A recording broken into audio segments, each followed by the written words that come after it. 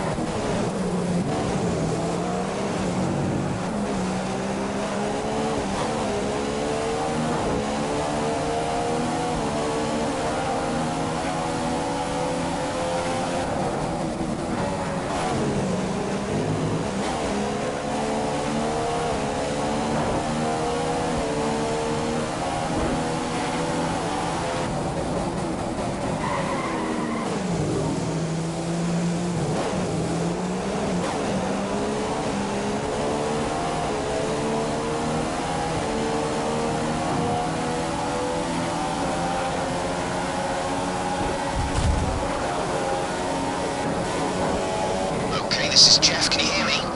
There's a fair amount of damage to the front wing. We suggest you come in as soon as possible, rather than risk it getting worse.